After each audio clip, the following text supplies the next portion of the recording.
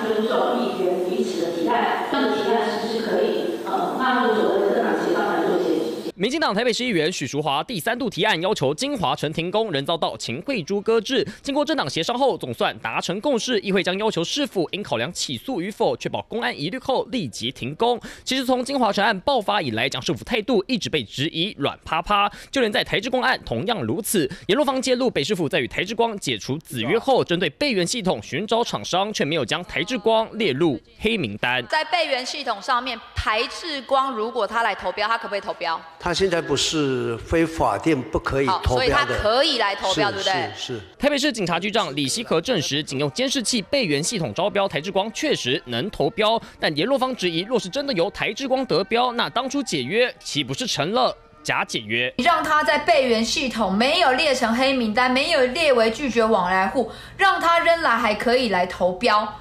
那这个解约有什么用途？这不是是一个天大的一个笑话吗？